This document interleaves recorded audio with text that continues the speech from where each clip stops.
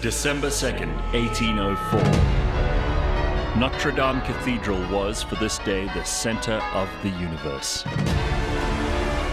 Festooned in gold and red velvet, with every great man and woman in Europe in attendance, it was the coronation day for the new French emperor.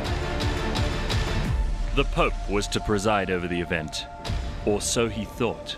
In the end, Napoleon crowned himself and his Empress Josephine, while the Pope looked on like a bystander and left early, humiliated. Napoleon was the most powerful man in the world, and he wasn't going to be upstaged by anyone. Blind History Season 2, and we come to one of my top five people in all of history. I'm wearing his shirt Napoleon, Emperor of the French, conquering and victorious general, statesman, artilleryman, officer, revolutionary. Unbelievable human being, huh? 100%. He strode over Europe like a colossus. Anthony Mederer, Gareth Cliff, and Blind History. Napoleon was a guy who dominated Europe for more than a decade in terms of his own presence, but arguably you could say a century. And I think his contribution to the world, which we'll get to a little later, is monstrous. He's considered one of the greatest commanders and victors of all human history. He redrew the map of Europe. And even after he was deposed, they had to redraw the map of Europe again. So you could argue that everything that's happened since is as a result of Napoleon's campaigns. Mm. And he was special, exactly like Charlemagne and um, Julius Caesar, His Alexander the. Great. Julius Caesar was his hero. He wanted to build an empire. Nobody in the 1800s, by then, were looking to build empires. Incredible. Well, really especially if you were born in a little town called Ajaccio in Corsica, which Mm. I was actually in last week.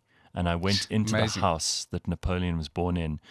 And it's a modest house. He came from a family of minor Italian nobility. His father was an ambassador to the court of Louis XVI. But he he really didn't grow up as his mother's favorite. Joseph was the favorite.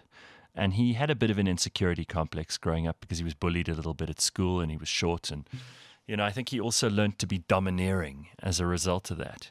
But it's undoubtable that this guy had something really special going on because he was already a general at age 24. Once again, we look at his military, his career, and I said it before with Julius, and I said it before with Alexander speed, speed, speed. He broke records on his horse getting from one part of, of France to the other, and people, are they here already?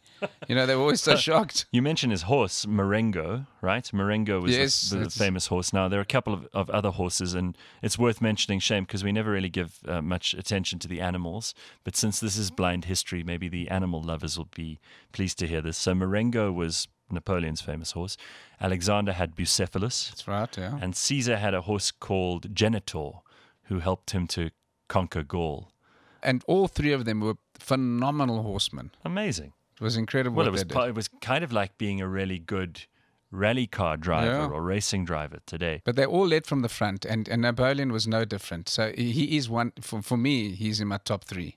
Oh, really? Yeah. Okay, that's high praise. By 26, he had campaigned against the Austrians. He was already commander of the French Italy army. He had won every battle that he'd ever taken part in. He'd conquered the entire Italian peninsula in a year and was a war hero by 1798. And they created power, and what he wanted was that power. Oh, yeah. because the people now, the directorate in Paris, started realizing, oh, this guy's he's he's starting to get a lot of power. And you know, he made up the treaties himself, where the beaten parties were. He didn't refer back to Paris. No, he just had the he had them comply with his demands and made them sign. Yeah. He really springboarded his political career though with the expedition to Egypt, which is almost fabled now because it brought with it a rediscovery of ancient Egyptian history. He unearthed the pyramids. Mm-hmm. He collected artifacts and and started from an artistic point of view this romance with Egypt that went into furniture, painting, sculpture, hmm. and reignited a passion for that part of history. So we have him to thank for the fact that Egypt became famous again. And interesting on a side note, one of the soldiers with him, Bouchard, hmm. found the Rosetta Stone.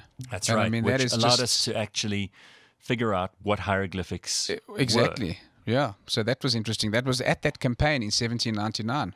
So you got quite a lot to thank him for, and, and some things we won't thank him for, but he was already considered so important that by 1799 they made him first consul of France. This is a title that he borrowed from Caesar and from Rome. And there were two others, but nobody really cares about them. And all the paintings they're seen in the background, and he's in the foreground. He was a he's a very mighty man of some prestige and standing, and he certainly had the posture of someone who was important. Yeah. He had no lack of confidence. And you also had Talleyrand, uh, and you know maybe we talk about Talleyrand at another time, but he was a master tactician himself, and he was, but especially in ways of how to structure. Like a chameleon, he used to fit in with the Bourbons, and then he fitted in with the Jacobins. Yeah. Talleyrand was his foreign minister, and in the end, he, he be, was named a prince. That's right.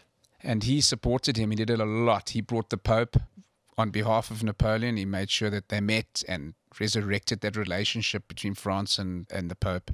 Well, it's interesting you bring the Pope up because by 1804, Napoleon had decided he didn't want to be consul anymore, now needed to be emperor.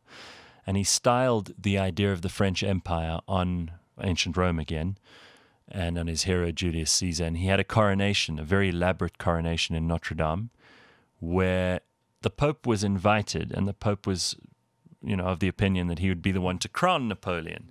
And at the coronation ceremony, Napoleon actually took Josephine's crown, crowned her himself, and then took the the crown from the Pope and put it on his own head.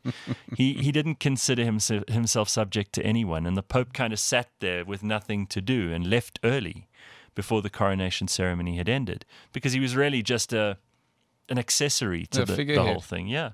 So he this guy had unbelievable power by that stage. He shattered coalitions. Remember, there were, by the end of it, seven coalitions against him of all the other neighboring states.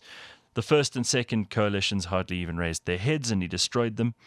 Uh, he destroyed the Holy Roman Empire in 1805 after the Battle of Austerlitz, which was, that was his famous. That was one of his most famous battles. he just annihilated And them. strategically, had these guys beaten. They were nowhere, Mm. absolutely nowhere. And and one thing he knew, he was not good on the sea, no, and he wasn't prepared to engage. When they said at the time of the consul in the 1799, they said, "Listen, we, give you permission to take on Britain." He said, "No, I'm not taking on Britain." That's why I went to Egypt. yeah, because he could hurt them economically. And he was extremely intelligent. If we look at what he did with the economic almost sanctions on Great Britain, it backfired on him to a great degree. well, he closed off the Mediterranean largely. exactly. And he said, Look, that I'm going to get you guys to come out. You know, he really wanted to pull them out. He was all about war. He loved to go to war. and he was hugely successful. So we mentioned Austerlitz, and then what happened after that is that the Prussians, newly formed Prussia, were quite nervous because he started to look like he was a threat on the continent and perhaps a threat to their sovereignty too.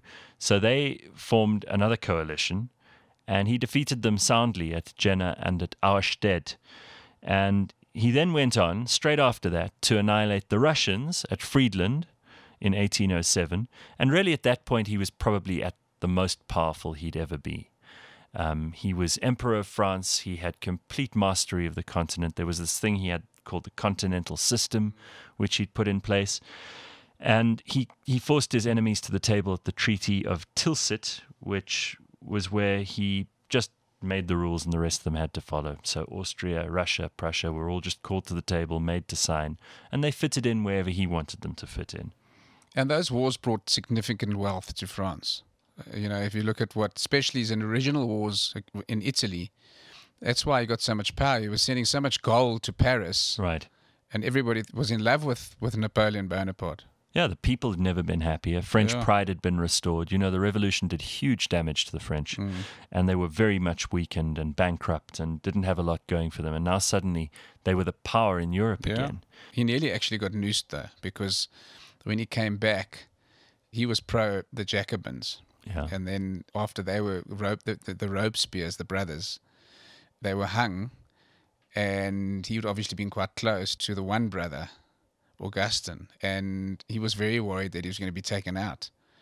And so he kept a low profile. He went to Corsica, and it died down. And he was put under house arrest for a short period of time. And then Huh. they brought him in, and he was he was he was already back in as a general. But this is all obviously predating his time as This emperor. is exactly yeah. This is all predating his time. I didn't ch- know that he was actually in danger at that point because they did say in the house that he'd come back for a visit, and I thought, well, that's odd. You know, you've got all Mm. this stuff to do, and you come to Corsica, which is a very quiet place. Not a lot happens in Corsica. But he was so intelligent. He had a finger on the pulse. He knew exactly his his intuition was second to none. Well, they say that he was almost like one of those master chess players, that he always knew where his armies were positioned. He always knew what their defenses were, what their strategic advantages were, and he could play it all out in his head and see all the different extrapolations and figure the best one, which is extraordinary. Mm-hmm. That that requires a very fine mind. But you mentioned how clever he was. Eventually there was the fifth coalition. Now I imagine like you're mounting a fifth attempt to take this guy down. This one was Austria and Britain and they did defeat him at the uh, sorry he defeated them at the battle of, of wagram Yeah. in 1809 and then he made a, a, a fairly big mistake because he decided to invade spain and went to war there for i That think wasn't was the, the Peninsula Wars. That actually hurt him. it was bad but the idea behind it was good because again he wanted to throttle british trade and the portuguese and the spanish really waged a guerrilla war against him so it wasn't a standing army war which he knew and he could win it was much more you know small peasant factions that would rise up and you know brigands that would attack his men at night Mm. and it kept that him very busy. Mm. And I think Gareth, you know, the big thing is, is it's a, it's a lesson that that subsequently people haven't learned. But what happened was he he was the Peninsula Wars were there, and it was almost terrorist like. And then suddenly he heard that his friends, the Austrians, and he got so frustrated one day. He said, "You know, these Austrians are stopping me taking on Britain. They're wasting my time, so I can't tackle Britain." And he went from Spain back to Paris, and people were so they couldn't believe he was there. He rode the horse so hard he broke all records, and then he put together six hundred thousand troops. Peninsula was still ongoing, and off he went into Russia. Because Russia now Well- said, "No, we've we fed up with the European system that you've ex- this is what they say was his biggest mistake Yeah. war on two fronts and Exactly. especially russia and especially in the winter Yeah, and they were clever. They kept retreating, sucking him deeper and deeper into the Russian cold lands. Hmm. And he won the battle just in front of Moscow. But when he got to Moscow, there was nothing there. Yeah, they, they, they'd done what they later on did with Hitler too, this slash and burn, mm. where they basically just left embers and ruins. And you know, a, an advancing policy, yeah. an advancing army needs food, they need shelter, they need fire, they need warmth, they need sustenance. They could find nothing there when they had eventually conquered Moscow. There was just nothing for them. And many people died of starvation. They had to do a humiliating march back through the snow. Lots of people died on the way back Yeah. that way. But they talk between 40 and 100,000. So I've read a report of 100,000 out of 600 or 40,000 out of 600. But no matter what, it's massive amounts were lost. Hmm. and they say in the end, you know, he was he was a colossus, but six million people died during that time. Importantly, though, he brought to mainland Europe liberal and strategic values Oh yes, of, abso- of the, absolutely. the Enlightenment. I, I want to I want to get to those when we kind of look at him after his death, but but to carry on with the events of his life because it was such an in- incredible action-packed life. So after he invades Russia, they dissolve the Grand Army, and he gets back and. There's the sixth coalition Yes. now ready to take him on in 1813. They defeat him at Leipzig. Yeah. The Allies invade France. They take Paris, and he eventually abdicates. This is now 1814. And Talleyrand was there to say, hello, welcome to Paris. So Right. he'd already switched. he'd already turned Yeah. turned tail. Napoleon then was exiled to Elba, which is a little island off the Italian coast, and he was only there for hundred days, I think. So he was there for about around about a year, and he was given sovereignty of it. Sorry, the hundred days when he came back. Yeah. So then, but he only lasted literally less than a year, and, and he escaped. Hmm. And he took a thousand people across the Mediterranean back into France. They welcomed him in Paris. Well, there's a, there's an interesting story that I want to throw in just before that, and it's the most beautiful scene from a movie that I watched about Napoleon. He marches with this kind of lackluster army behind him. You know, it's the people he could rally on his way through southern France, and one of his former generals, Marshal Ney, meets him. And this is all told exactly the way that it was written, and we have no reason to, to not believe it. Napoleon stands at the front of this motley army that he's gathered, and Ney comes down with what is the Bourbon army of the King of France, who's been reinstated.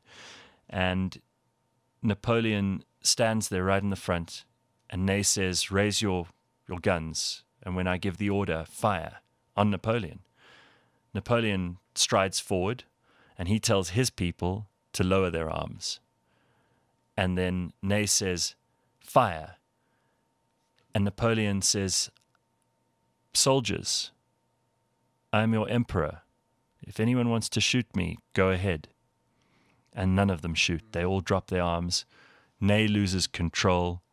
And he kind of gets embraced by Ney's army. And then he has even more men to march on Paris Yeah. with. And when Ney offers him his sword as a, you know, sort of a, humbling, humiliating defeat and a move of, of, of supplication, Napoleon says to him, No, Ney, I need you and you need your sword. We have Paris to reconquer. And they march up to Paris. And he's really instated there for, I think, another hundred days. True to form, the Bourbon King, I think he was Louis the Ran. 18th. He ran out of Ran. He was a fat, useless, stupid king. And he ran out of and got the hell out of there. Yeah, But he didn't last long as, as emperor the second time. They it was eventually. 100 days you mentioned. Yeah, and, and the Seventh Coalition eventually defeated him at Waterloo, which is one of the most famous battles in history. Southern Belgium now. You can go and see the battlefield. Mm. And it's been played out a million times. There are games you can play where you can be Napoleon or you can be, Wellington. you know, Wellington or, or Blucher of, of Prussia. And they defeated him soundly in 1815. He was taken captive and put on a ship and sent to this miserable island in the middle of the Atlantic. they were taking no chances. No. Uh, St. Helena, which is actually closer to South Africa than it is to Correct, in France. the, in the southern Atlantic. They've only just recently landed planes there because you could only Yeah. reach it by ship for so SA, the longest Airlink time. of all airlines is flying there now once a week or twice a week. Amazing. But Wellington, the Duke of Wellington, he was one of the most able generals during that period. Well, we're going to talk about him in a future episode, I think. That's correct. And what he said, they asked him, so who was the most difficult and greatest opponent that you faced? He said, Napoleon in this era, in the past era, in any era, Napoleon Bonaparte. Wow. That's what Wellington, and Wellington was pretty handy. He died at 51 after only six years in exile in Longwood House, which was the house they put him up in, in prison. Uh, his hero, Julius Caesar, was the subject of a book he wrote. He also wrote his memoirs. He was buried in St. Helena and then later exhumed by a very embarrassed French nation who wanted to reinter him in the Invalides in Paris in a big Roman style porphyry tomb, which I visited. Um, it's very impressive. They now regard him as a saint. I mean, Napoleon's legacy has turned to good after all, despite having a pretty ignominious end. But if you look at it, and this is what I really enjoyed about these incredible leaders. If we look at Julius and, and we look at Augustus, and we look at even Alexander the Great to a certain extent. So, you, you know, you always think war, war, war. But, I mean, what he did also for France, the Napoleonic codes, I mean, it's used today still. Yeah. The Napoleonic Code of Laws is a part of the law of 70 nations in the world. It's just that's him. That was Napoleon. You know, a lot of the things that we consider the underpinnings of the modern world, I mean, things like meritocracy, you know, that the best Yeah. will succeed and we should let them, that there is equality before the law, that property rights are sacred, that religious toleration should happen, that secular education should be a part of practice, that sound finances should be observed. The all idea of of, these, enlightenment, and the- the idea of self-determination, national self-determination. all of these were, were championed, consolidated, codified, and spread by Napoleon. and liberal and, and rational values of the Enlightenment, such as the metric system, you know, metric system of measures. they still keep the standard meter, the standard kilogram in Paris. Mm. And that's all as a result of him doing this. You know what his last words were? I don't. France, l'armée, tête l'armée, Joséphine. That means France, obviously, the army, head of the army, and Josephine. Strange last words. Incredible. they say he could have been poisoned. They found a lot of arsenic in his hair. Um, and so a lot of people say the English just kind of sped him to an early death. But what an interesting guy. And I read some other interesting info about him that you might care to know. Because, you know, a guy, guy like that, obviously, there's plenty of legend and there's lots of myth associated with him. But apparently, he had a very strict, efficient work habit. He prioritized what needed to be done. He is very good at delegating, but he cheated at cards. He always repaid his losses. He had to win at everything he attempted, or he would never attempt it again. He kept relays of staff and secretaries at work. Unlike many generals, he did not examine history to ask what Hannibal or Alexander or anyone else did in a similar situation. Critics said he won many battles simply because of luck, and he responded, Give me lucky generals, arguing that luck comes to leaders who recognize opportunity and seize it. That's exactly right. And if that's the case, if you look at his strategy in the wars, Austerlitz, and what he did and how clever he was, where he picked the battlefields. He worked very, very hard to ensure where the battlefields were. Well, That's you know he's made his own. it luck. was also his personality by that stage because when Frederick William of Prussia, even though he outnumbered the French by 63,000 troops, heard that Napoleon was in command, and he wasn't actually, it was a mistake. He ordered a hasty retreat that turned into a rout. Hmm. So the force of his personality alone could neutralize the enemy. That's incredible. That's reputation. Napoleon, Emperor of the French. Thanks for listening to the award winning Blind History, brought to you by Taylor Blinds and Shutters.